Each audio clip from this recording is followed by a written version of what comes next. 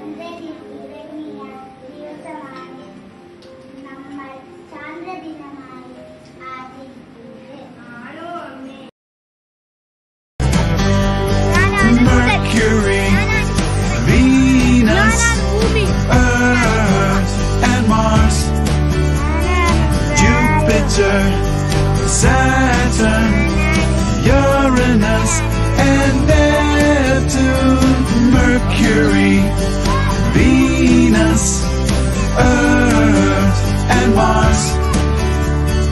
Jupiter, Saturn, Uranus, and Neptune. System. These are the planets in our solar system.